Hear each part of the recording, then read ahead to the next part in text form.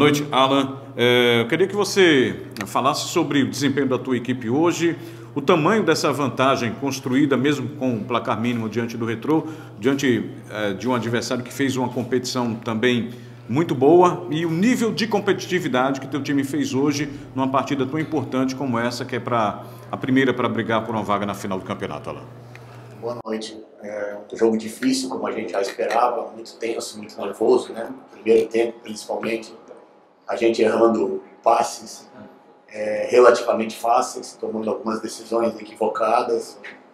E depois que a gente assentou um pouquinho a nossa ansiedade, que é natural até certo ponto numa, numa semifinal, conseguimos jogar, conseguimos criar algumas situações. No segundo tempo tivemos um controle maior, né? tivemos um desempenho maior. E em relação a essa competitividade, Alan. acho que tem que ser, tem que ser essa identidade que nós temos que manter a conversa, né, depois do insucesso dentro de casa pela Copa do Nordeste, foi direcionada para essa para esse ponto. Né? Hoje o futebol está muito nivelado.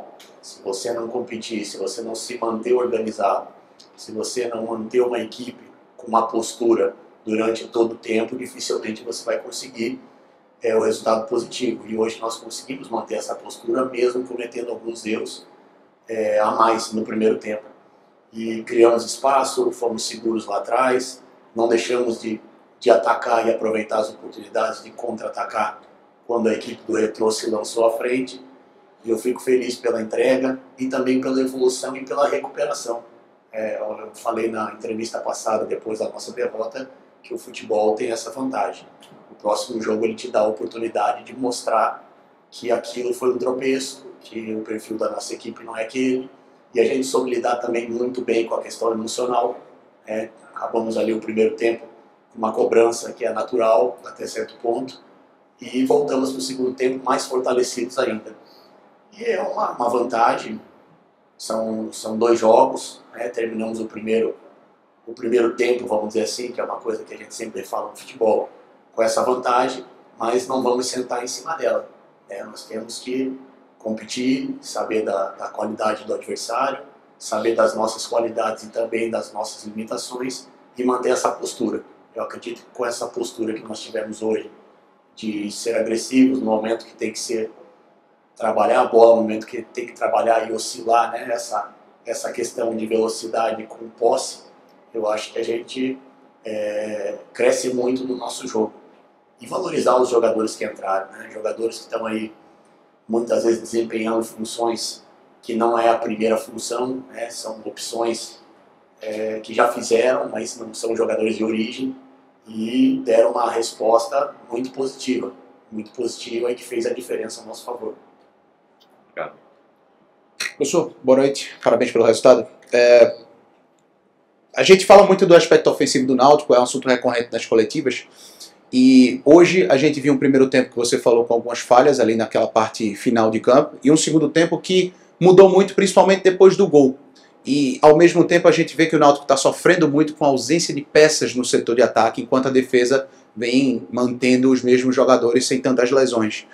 É, o gol no começo do segundo tempo e a mudança de postura, com o Náutico se propondo a atacar mais, mais solto mesmo, mostra para você que é também um aspecto psicológico que alivia essa tensão depois do gol e os caras começam a soltar. Mostra que, apesar dos desfalques, você consegue extrair alguma coisa, mesmo improvisando uma peça ou outra? Boa noite. Sem dúvida, eu vejo a questão ofensiva mais pelo lado da, da efetividade do que das oportunidades. Oportunidade a gente cria, a gente trabalha, a gente tem em média aí 15 finalizações por jogo. Né? Dessas 15 finalizações, se a gente melhorar a nossa efetividade em 10%, ela acaba gerando aí um gol e meio né, na matemática. Então essa efetividade eu acho que é fundamental. E a gente jogar, é, a cobrança ela vai existir não só aqui, mas em todos os lugares, quando se trata de uma equipe é, tradicional, uma equipe que veio um pouquinho ferida por alguns anos anteriores, é natural esse tipo de cobrança e a gente tem que ter muito equilíbrio. E hoje nós mostramos esse equilíbrio. Mesmo, de repente, no primeiro tempo, a gente errando, é, tomando algumas decisões equivocadas, como eu falei, mas continuamos jogando. E no segundo tempo, depois de abrir o placar, é, as oportunidades aumentaram também pelo fato do adversário proporcionar esse tipo de situação para nós. Fomos muito efetivos defensivamente, sem recuar, né, sem a gente colocar, perdão a palavra, a bunda lá atrás, e soubemos aproveitar os espaços que poderíamos até ter definido. E aí bate nessa questão de efetividade. Definido alguns lances com um pouquinho mais de tranquilidade, poderíamos estar falando de um placar é um pouquinho maior. Mas é valorizar o nosso trabalho, respeitar que da outra, do outro lado também tem uma equipe que trabalha, uma equipe qualificada, e a gente sabe da dificuldade que a gente vai enfrentar, mas estamos cada vez mais é, preparados para isso. E repito, respondendo a tua pergunta também, que tem que valorizar esses jogadores que entram no Luiz uma função que não é dele, é, o Maranhão, que vinha com pouco ritmo de jogo, que tem característica mais de jogar pelo lado, entra centralizado. O Marco Júnior, eu acho que incorporou mais o nosso meio de campo com a qualidade, com diminuindo o número de erros. Nosso sistema defensivo muito seguro com a linha de quatro posicionada, é, se preservando menos. Eu acho que o jogo passado a gente se preservou um pouquinho mais e em muitos momentos a gente tem que ficar de mano, sim, confiar no nosso potencial e essa somatória é, de fatores, juntamente com o nosso, nosso comportamento, com a nossa postura e com o apoio do torcedor, acaba tendo combustível a mais. E foi o que aconteceu.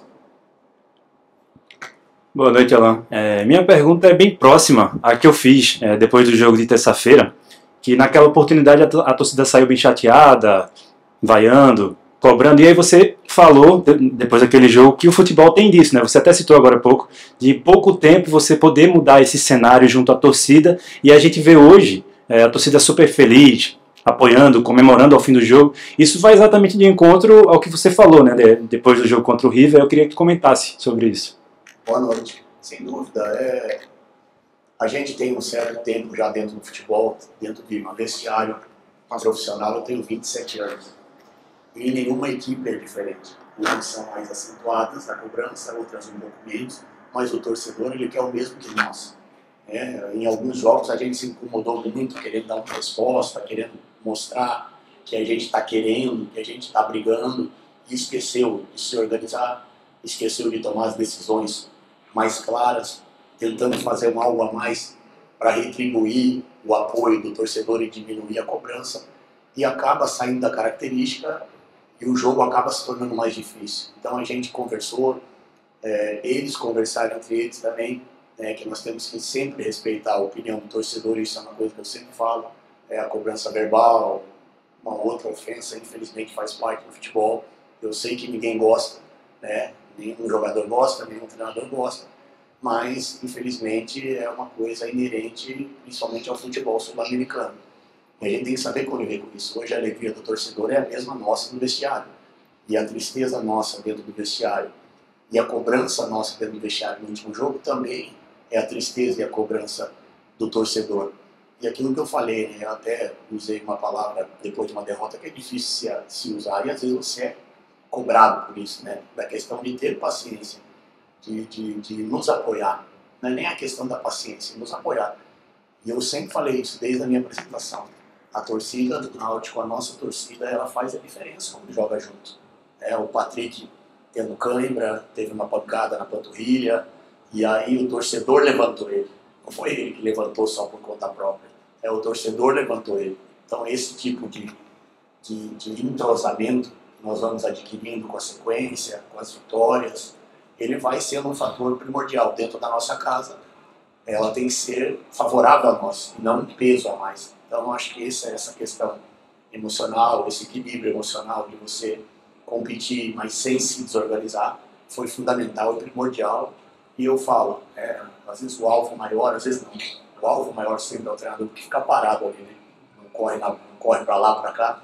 E a gente respeita, a gente respeita, a gente tem que, tem que entender, procurar entender. Incomoda, machuca, claro que sim, nós somos seres humanos, né? ninguém gosta de ser ofendido. Machuca inclusive a família que acompanha. Mas nós estamos aí, como eu falei, há muito tempo no futebol e a gente procura entender isso e reforço, o que o torcedor quer é o mesmo que nós queremos. É a vitória, é a alegria, é o torcedor poder voltar para casa hoje sorrindo, assim como nós vamos voltar para casa sorrindo.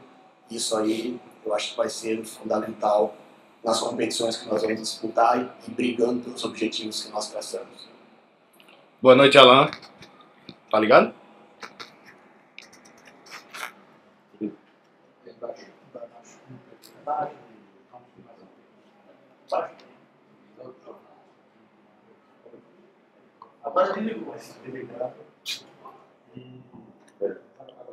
Boa noite. Boa noite, Alan. Parabéns pelo, pelo resultado de hoje. É, a gente sabe que toda vitória, ou até toda derrota, o, o mérito ou o demérito é coletivo. Porém, como você falou agora há pouco do Patrick, eu queria que você, se você me permite, fizesse uma análise individual do Patrick. Porque, na minha opinião, ele é um dos candidatos a craque do Campeonato Pernambucano. É, não só pelos gols decisivos, fez gol no Clássico, fez gol contra o Afogados, fez o gol da vitória hoje. É, então, queria que você fizesse uma análise, se você concorda que ele é um dos candidatos a craque, e uma análise do futebol que ele vem praticando, não só na questão de ser decisivo, de comandar o meio-campo, ser o cérebro do time e ajudar a equipe em busca dos objetivos. Boa noite, obrigado. Acho que os parabéns são para todos nós, que trabalhamos no dia a dia. E o Patrick é um jogador que vem evoluindo desde a primeira rodada. Vem desempenhando funções que a gente determina e que tem uma, uma, uma inteligência para desempenhar. É um jogador de construção, de criação com uma característica um pouco diferente dos outros, né? Um jogador canhoto que tem uma boa finalização, que tem uma boa bola parada e está entendendo cada vez mais essa movimentação que ele precisa fazer. Hoje ele foi mais agudo, atacou mais no espaço, pisou mais na área. É um jogador que tem essa condição física para desempenhar esse tipo de função e juntamente é, com a nossa equipe ele acaba é, é, criando situações de desequilíbrio para o adversário. E a confiança ela vai aumentando. Próprio jogador sabe quando ele joga bem e quando ele joga mal.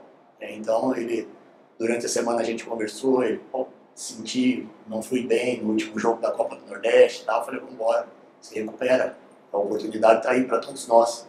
Não podemos ficar lamentando, temos que trabalhar. E é um cara que se dedica demais é, durante, o dia, durante o dia a dia e tem uma liderança que é diferente. É uma liderança técnica.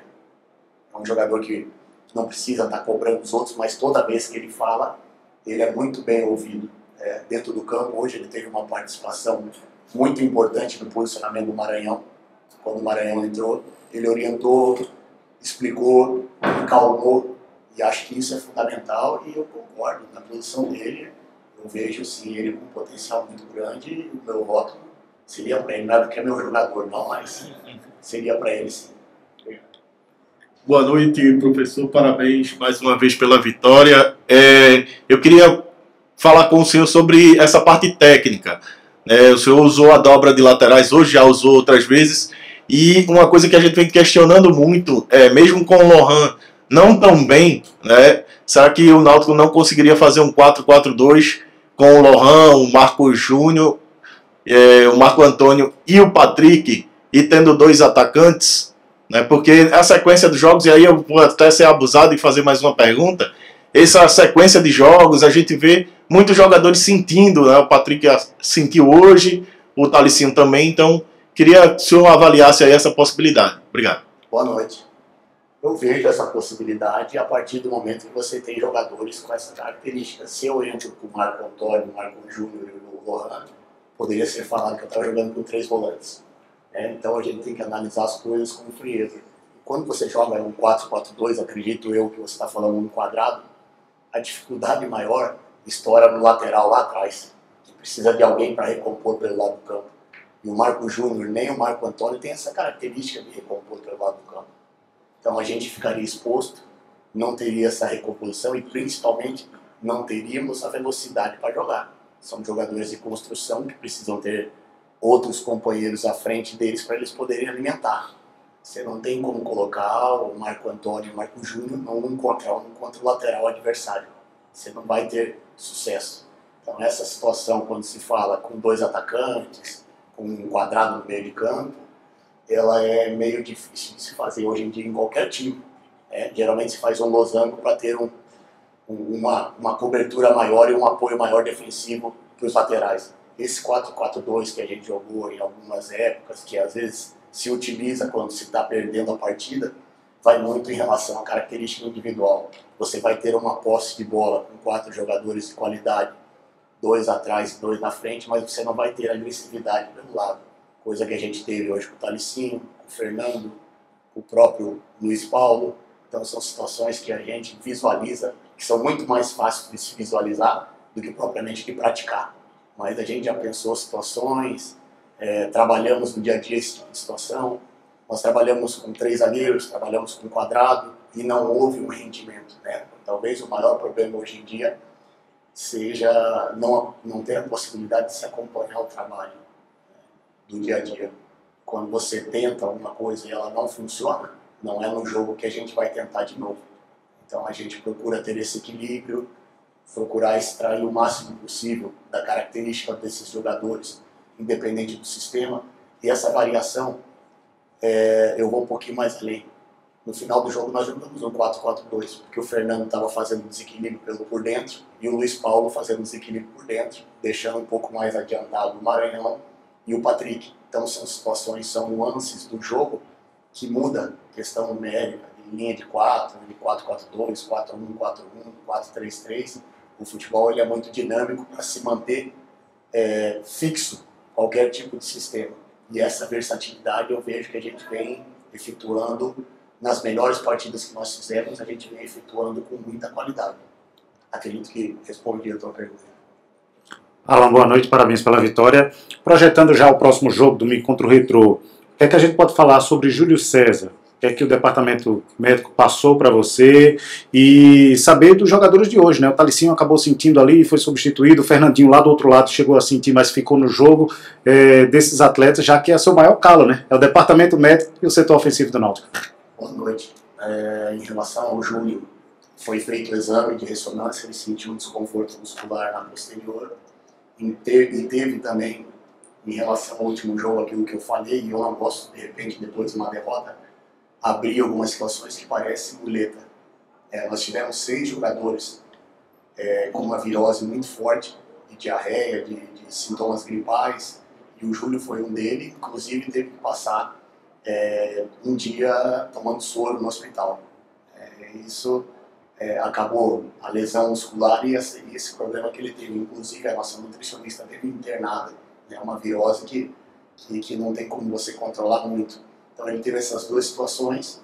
Vamos esperar o resultado da ressonância dele e ver qual é o melhor caminho a gente tomar juntamente com o departamento médico. O não foi mais uma questão de desgaste, uma pancada que ele levou também o Arnaldo talvez preocupe um pouquinho mais, que ele vem sentindo esse desconforto no glúteo, um pouquinho acima do glúteo, e há algum tempo.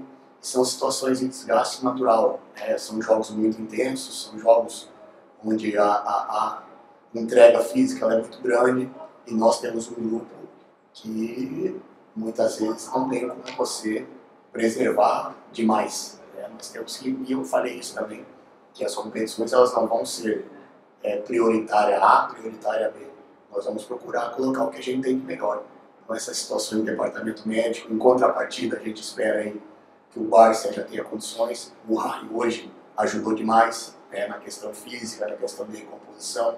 São jogadores que a gente sabe que tem muito para entregar e estando numa condição física boa, né, de saúde, eles vão nos ajudar. Então, a gente tem aí também a volta do Paulo Sérgio, são situações que vai, vai nos dando é, condições de pensar o jogo de uma maneira um pouco diferente. E é por isso que quando a gente perde, a gente também não pode entrar no desespero de querer contratar cinco, seis jogadores de uma vez só, que acaba é, transmitindo uma insegurança muito grande para o grupo. Óbvio que a gente precisa qualificar e não é numa vitória que a gente vai dizer o contrário. Mas estamos com tranquilidade, com equilíbrio, monitorando o mercado, vendo as condições, mercado muito inflacionado, principalmente pela questão das ligas, né, que valorizaram é, as cotas, questão de SAF, tudo isso, os clubes têm um potencial a mais financeiro e a gente acaba sofrendo um pouco. Mas eu vejo que algumas peças aí, três, quatro peças para reforçar alguns setores, ela, elas serão bem-vindas. Isso é um consenso nosso, inclusive com a diretoria. Em relação a esses jogadores, a gente espera contar com eles aí mais breve possível, que quanto mais dor de cabeça eu tiver para escalar, melhor o rendimento nosso vai ser. Pronto. Aí,